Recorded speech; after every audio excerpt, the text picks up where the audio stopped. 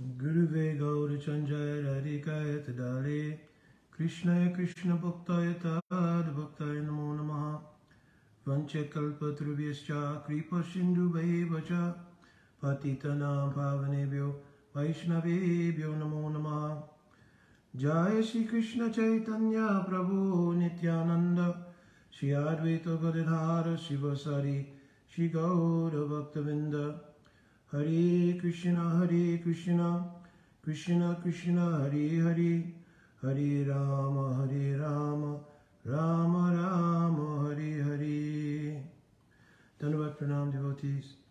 So um, this is a very short video um, to answer a few questions. Uh, one that came in this morning and a couple of questions that I've had, which of course over the Gaur Pranim uh, celebrations that uh, I was unable to get to.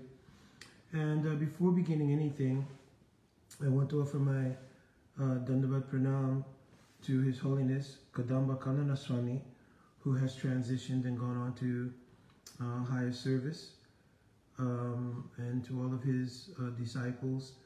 Um, you should take this as a very deep time to contemplate doing very deep bhajan uh, whenever Sri Guru uh, enters samadhi or leaves the physical presence of the disciple, that becomes the impetus for developing the mood of separation truly for the first time.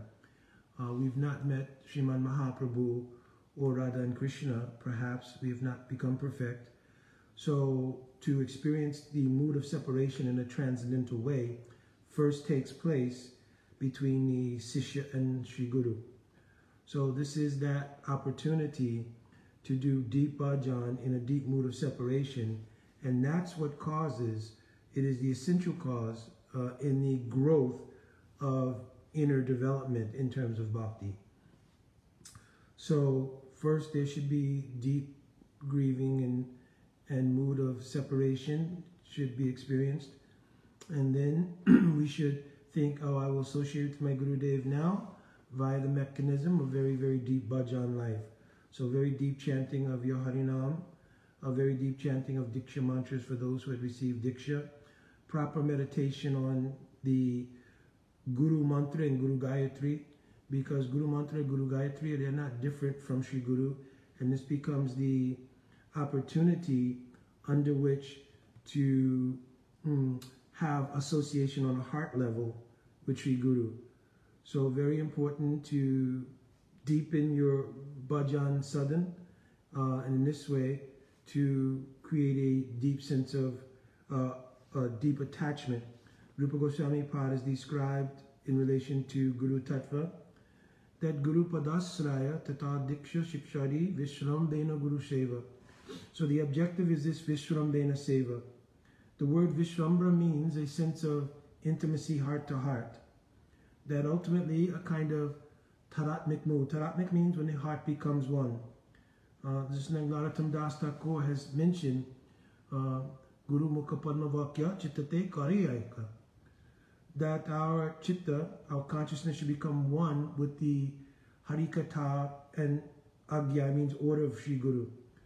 So what instructions your Guru Padma gave, how to do seva, what seva to do, plus always the instructions on how to do bhajan, you should take very, very deeply. And in doing so, you'll find that your inner growth will become very expedited. Jai. Haribo Sadhan Siddhaprabhu, Dandavat Pranam, all devotees who have come on. So there are a few short questions, they're not very long. Uh, one question was written by a dear God brother of mine. Um, let me take a look at the question. Oh, the question was regarding Sri Navadvipda Mahatmya of Srila Bhaktivinoda Thakur. Uh, there, Srila Bhaktivinoda Thakur, he mentions, has spoken that you cannot measure the Dham. Yet, a few short pages away, Srila Bhaktivinoda Thakur gives a very uh, descriptive measurement of Sri Navadvip Dham. So he was asking how to reconcile this. So the reconciliation is that there are two kinds of angle of vision here. One is the angle of vision of the aprakrita nature of the Dham. The aprakrita nature of the Dham, meaning the, the potency and function of the Dham as a spiritual substance cannot be measured. So you cannot, like I'm giving the example, it's mentioned there, Satata, Satata Koti Gopi Madhavaman. Srila Bhaktivinoda Thakur was written one bhajan. So it means one billion gopis have gathered at Vamsivat in preparation for us. So anybody who's been to Vrindavan, you've been to Vamsivat, then in your mind you may think how one billion people can fit in all of Uttar Pradesh, what to speak of, what to speak of at Vamsivat. But our acharyas have given so many explanations that Dham has the ability to contract and expand and so many other things. But the essential thing they're describing is the aprakrita nature of the Dham. That it is a bhav. And a bhav cannot have any material measurement. How much does Radha love Krishna? How much does Krishna love Radha? Can you measure? Can you give a metric? How much love is present in the roop of Mahaprabhu as Rasaraj and Mahabhav in one roop? How much love is there? Can you give any metric? So that which is essentially uh, beyond material facility, then that thing cannot be measured. So the Dham has that feature, that it is aprakrita, means it's beyond material facility, right? And it's mentioned there, ah, aprakrita vastu na, na prakrita gochara. So that which is aprakrita, the vastu, the substance which is uh, transcendental, by prakrit senses we cannot measure. So then why does Srila Bhaktivinoda Thakur then go on to give measurements of Sri Navadvip Dham, just like we say, the 84 crores or 32 square miles of Braj, etc., etc., 64, excuse me, square miles of Braj. Why? Why do we say like that? Right? Because what is manifest to the Baddha Jiva, that thing is what is being measured. And that's being measured only to also establish its glory. That this 32 square miles, 64 square miles, etc., etc., or this uh, dimension, etc., etc., it is full of transcendental potency. So you need to see from both angles. So from the angle of the um, prakrit vision of the sadhaka, they may analyze it's this long, this wide, this many miles, etc., etc. But it's not saying that it is a limited space. Because in its aprakrita nature, it's aprakrita bhav, its mood. Because the, the Dham, once it was asked, there was a discussion about Krishna never taking, taking one step out of Vrindavan. But at the same time reconciling how he goes to Mathura and to Dwarka. So I've spoken on many times of Harikatha. First, the idea that Mathura and Dwarka are actually virohe prakosh. It means they are chambers of separation in relation to Braj. So from that angle of vision, we don't see Mathura and Dwarka as separate places. We see that they're actually chambers of Braj for the mood of separation to be enhanced. Understand? So that's one vision that ties that Krishna is not leaving Braj because by Bhav, Krishna never leaves Vrindavan. Therefore, we see that in, quote, Dwarka, he's completely absorbed in the mood of separation from Brajavasis. So his bhav is the reality of his station or his locus, right? Like we may have our locale in Alachua, Florida. But my Guru Padma told you should do bhajan always meditating uh, since you cannot physically be in Braj, by mind and by heart, you should be in Braj. So we consider that Brajadham is unlimited. It is transcendent. It is unlimited right? So that Brajadham is a bhav, not just a physical locale. For the sake of the sadhaka who wants to get a geographical analysis of any dham, was located here and it has this dimension, etc., etc. But it's not uh, in contradiction of the aprakrita nature of the dham, that it is unlimited in power, unlimited in scope, etc., etc. So this is how it will be reconciled that from one angle of vision, he's uh, speaking from the idea of sadhakas. Right? And also for those who are not yet even sadhakas, but explaining to them the glory of this place which constitutes so many miles, it's in such and such a location, etc. But those who are either sadhakas or aspiring sadhakas, they'll understand it from the other angle of vision. Also, this is the aprakrita vastu. It is the transcendental dham which has descended onto the plane of the vision of the spiritual aspirants and those in this material jagat. Understand? So hopefully this was helpful, Prabhuji. If not, then I'll communicate again on the messenger. Uh, another question that came in was, yeah, sorry, I have to keep opening the phone. About the nature of hearing Harikatha, the, the person wrote, I just paraphrased it, Harikatha that doesn't have any depth. So he was making a reference in the explanations he was given that many times he goes to hear from various sannyasis and so forth. And when they come, they generally speak very generically, uh, like you're not the body, material world is suffering. Um, we should, you know, try to get out of the material world. So he was kind of going along those lines. So two things should be considered here. Is one, we should consider ourselves very fortunate that we can hear anything in relation to Sri Krishna. that if it is a stream of thought that deals with our condition, the reiteration of that condition is not harmful to us. That we're in the state of being Baddha Jivas. And that from the perspective of self-interest, we are experiencing a vicarious connection with the three modes of material nature and are therefore being taken on a very uh, horrific ride of adiatmic, adibautic, and adidaivic klesh. Means miseries coming from our own body and mind, miseries coming from uh, others, and miseries coming from the devatas or natural order of things, right? To hear that over and over again, there is no problem, right? So we should not consider it a lacking. Also, for that speaker, it may be because everybody speaks for their own edification as well. So if that person speaking is doing the seva of serving Harikatha with that kind of mindset and for their own edification are reiterating these points, then we should, with great humility, hear and digest and reapply over and over again like we put tilak each day. So we should apply the tilak of those instructions related to Krishna on our heart every single day, no harm. Another point of view. Sometimes it may be that the depth in the understanding of a devotee may have some limitation. The adhikar may not be so developed. Therefore, in speaking harikatha, the harikatha will be reflective of their adhikar.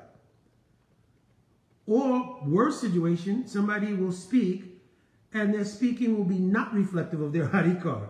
So both things are bad. So one person, not bad. Somebody speaking according to Adhikar means they may not have understood a lot of depth regarding Gaudiya theology and the inner moods of, of bhakti, etc., etc. That thing is not bad. They're speaking according to their Adhikar. Right? Now, for a person going whose Adhikar may be shifted to a, a higher position, then if they are mature, they can still, as I mentioned earlier, take what is being spoken, even if it does not stimulate the particular place of their aspiration in that adhikar, they should still see that it still adds to my foundation in bhakti. Right? That's one perspective. Secondly, if you really have depth of adhikar, from anything that you hear in relation to bhakti, you can glean deeper things. Because Srimad Bhagavatam is such that it's mentioned there. Tulya Bhagavata Krishna Vibhusavasrai. Prati Shloke, Prati Akshare, Nana Artakoy. So every verse, no, every akshara means every letter of Srimad Bhagavatam, Nana Artakai, has unlimited meanings. So also your own depth of adhikar in hearing anything can extract a dwani. A dwani means like an echoing of the meaning, and that will satisfy your adhikar. But if you only look from the vision of the critique of what you may perceive as the absence of adhikar in that person, which we can't ascertain unless you, like I'm giving one example. I remember one sannyasi who I know to be of very high quality came to give a harikatha. And in the harikatha, he spoke very basically uh, regarding the teachings of Bhagavad Gita. Now, Bhagavad Gita has so many different levels, from Samanyan Upakyan to Savaguyatam Gataha, right? So, so many levels are there. So he spoke in like general way. After the class, sitting in a separate place, stimulated by a question that was asked to him, he completely described all kinds of Savaguyatam Gataha Bhagavad Gita. So we should not try to ascertain adhikar simply by maybe what is the general presentation of a devotee when they're traveling or preaching, etc., etc. We may inquire from them personally, and they may be able to give inspiration to our adhikar. Now, I, I, I mentioned also we'll have to be careful. Always, there should be great humility, and your humility is proportionate to your genuine adhikar. You understand? Paripokena danasya Krishna prema ajasamvitanyate. Paripokena danya, danya bhav means humility, will be proportionate to your realizations in Krishna consciousness. So if you have a legend in your own mind conception about yourself related to bhakti, then that could be some difficulty. that I'm so high class, I only want to hear rasakata, please, I can't hear anything about anything else, so forth, so on. Then you you're probably headed down a dangerous path, first of all. Secondly, again, if your adhikar is mature, whatever you will hear will stimulate depth in your adhikar. So that's that's the sign. If you can only and exclusively hear a certain thing, then you you need to check the genuineness of your adhikar, right? Also, it may be that hearing in a particular environment may not be so nourishing to your growth. And that becomes a situation in which you then have to make a different kind of analysis. In other words, so now you look, it could perhaps be from institutional considerations that a kind of ceiling is placed on Harikatha. In other words, perhaps there's an idea, or oh, we should not speak about certain things uh, because these things uh, from somebody's perception were not emphasized by our acharya. But certainly I'm giving a practical example. Um, within any sangha, right, when you analyze carefully, uh, so uh, I notice this come up in ISKCON, so I'm using ISKCON as an example, right? I've heard many high class of Harikatha, right, from so many stalwart devotees in ISKCON. So this is not something related to like some sweeping analysis, right? But uh, I have also heard some devotees speak to the idea that no, no, no, we should not speak to a certain level. Oh, that's too high, or this is like this, or this is like that. That kind of imposition on the individuality of devotees, it could be harmful because what it will do is, is institutionally stifle devotees' ability to speak genuine realizations. Secondly, it will stifle the growth of those who are trying to understand by hearing the depth of bhakti theology and bhakti practice, their growth will be stunted by the inability to hear these things. Not only that, but they'll then develop an improper vision of hearing those things. That may also lead to aparad around those whom they perceive to be speaking those things. So in many, many different ways, uh, we'll have to analyze when we're hearing Harikatha. If you do not mm, place a ceiling on devotees being able to give genuine expression to genuine adhikar, that is the most helpful thing. You understand? Krishna Didi, Dandavat. So that is the most helpful thing. That you'll be very organic in your approach to bhakti. Organic means when you plant something and you go through the natural process of watering, giving sunlight, other things, then don't stifle the growth of what it is you plant. So devotees, when they come to the process, Mali Bijaropan, Shravan Kirtane Jale They've planted the seed of bhakti with the idea to water it through Shravan and Kirtan, means hearing and speaking of Harikatha, is also Kirtan. Understand? My Guru Parapadma used to mention that Sri Shukadeva Goswami is greatest of all kinds of Kirtaniya because he spoke Srimad Bhagavatam. Understand? So we don't want to stifle that. because it is harmful both to the growth of those who are doing seva to speaking Harikatha and the seva of the Shrota or hearers of the Harikatha. Understand? Same time, if there are mature devotees, they will be able to ascertain if somebody is speaking way beyond their adhikar also.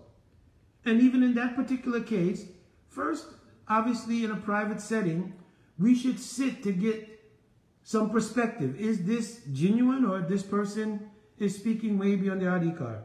You have somebody that's speaking about high class of things in uh, Geet Govind, this or that. You'll sit with them and see, do they understand what is Vachu Vegam, Manasakota Vegam? Have they studied Manasiksha of Raghunath Das Goswami Pad? You understand? Do they have some Tattva Siddhanta platform, etc.? Or have they simply ordered books and read the books and they're regurgitating what they read, but not clear how to understand, how to understand it. You understand? So, but also even that should not be judged from, done, excuse me, from a platform of being judgmental. Oh, this person probably is bogus, etc., etc. Let me go and, and give the challenge of Adhikar the Adhikar litmus test or something. Don't do like that. Just be very humble because Vaishnav Maitri is very important. It means Vaishnav friendship. So we could sit and you can ask. Prabhuji, you are mentioning this point from Utkalika Vallari or this Grantha of our Goswamis.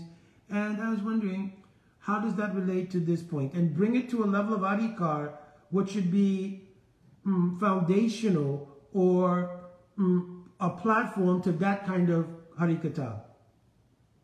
I have many God brothers who speak very high class of kata, but if you speak to them about Tattva Siddhanta, oh, very high class.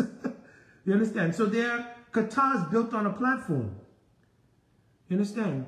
I also sometimes take great inspiration in repeating Harikatha I've heard from my Guru and Guru Vargas. And that kata sometimes has some mm, depth uh, by metric, we could say has some depth. But I don't want to speak it if I don't have the foundation for verifying those things. I remember many times I've spoken some Harikatha, and afterwards I'll receive messages, oh, Prabhuji, where is that? Where is this written? So forth, so on. So I try, I just did service to Harikatha for Sri Gaurapanim on our Bhakti Zoom, uh, with the Bhakti Zoom Seva team, which I'm also so indebted to because I think at this time, it is such a enormous service in so many ways. I don't want to detract from what we're speaking here, but the Bhakti Zoom Seva team has managed to not only be able to be a great source of internationally presenting each festival, each major uh, event within our Vaishnav uh, community, but they've been able to do so in a non-sectarian way where we've been able to have virtually the association of so many high class of Vaishnavas from so many different institutions and sanghas and so forth in such a beautiful format.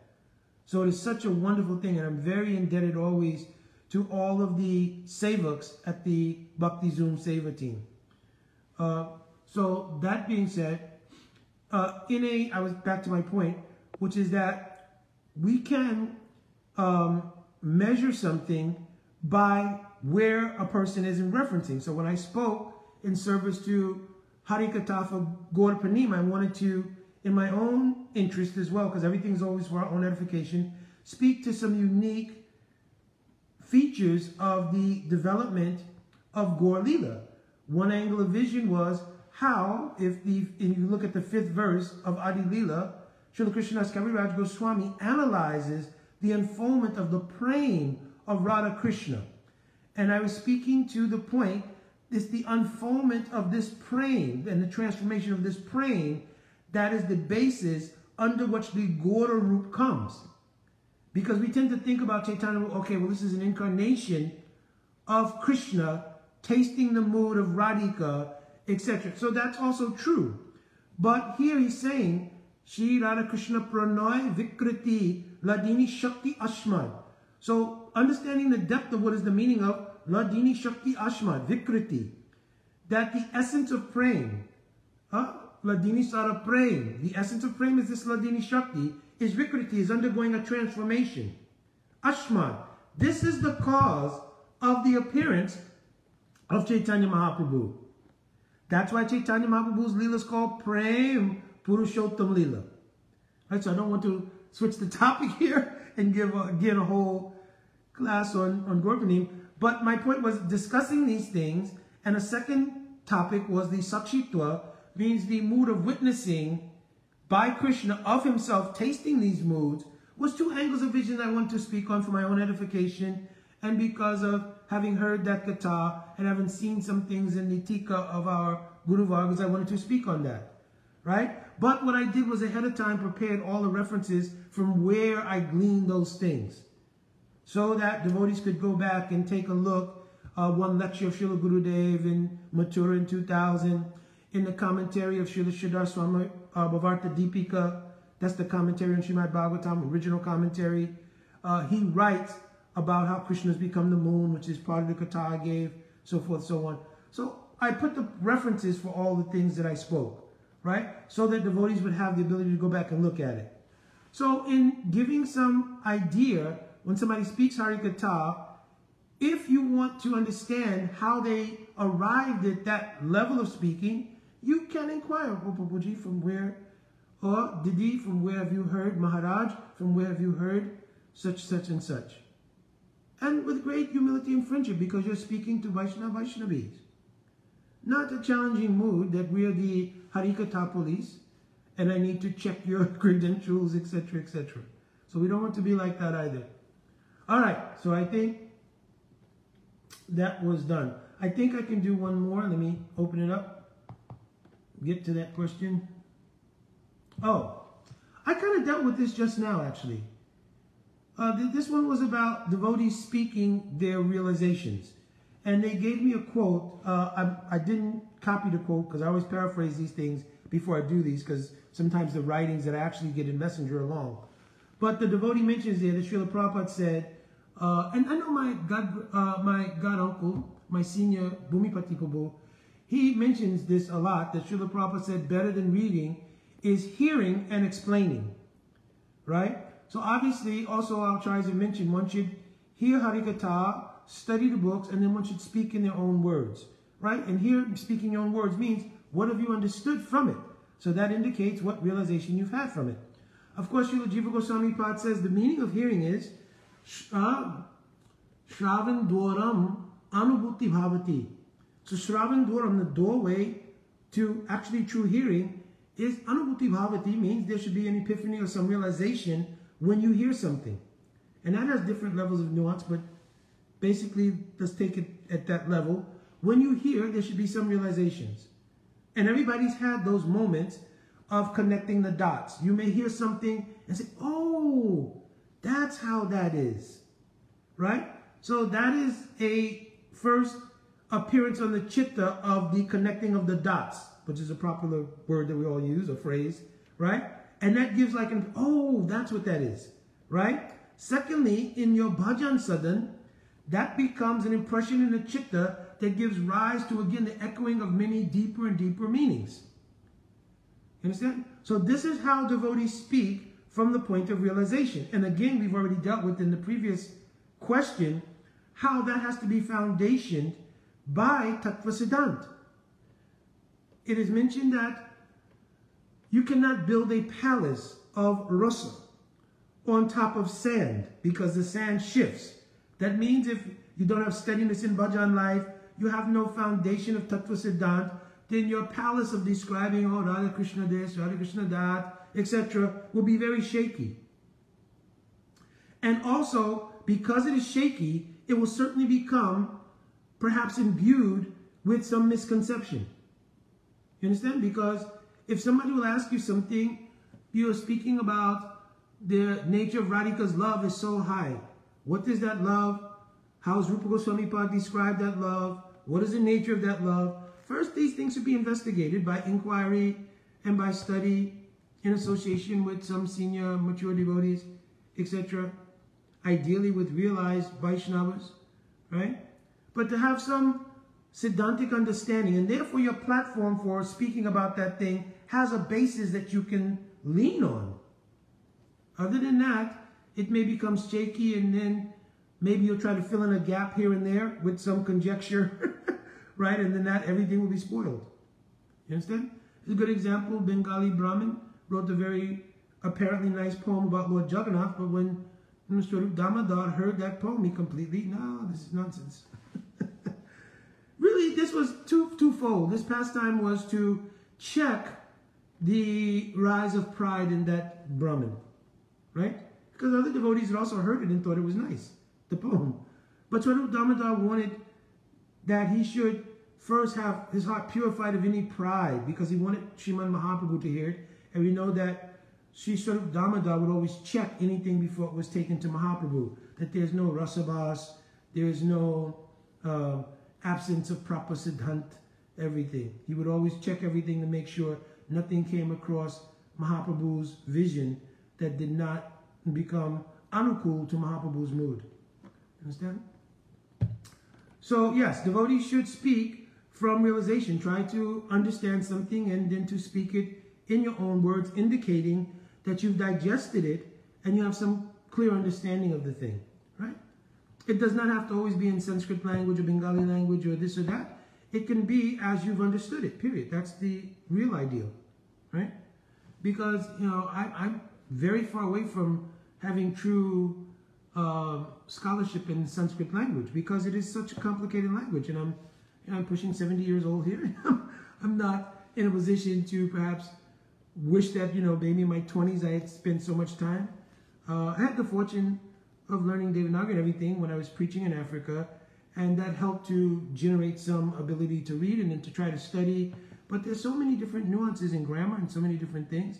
So I've always tried to rely on uh, having someone to help me in terms of teaching in that regard and uh, asking questions to those who have studied Sanskrit language in a, in a significant way and so forth and so on. But the point here being that the understanding is most important.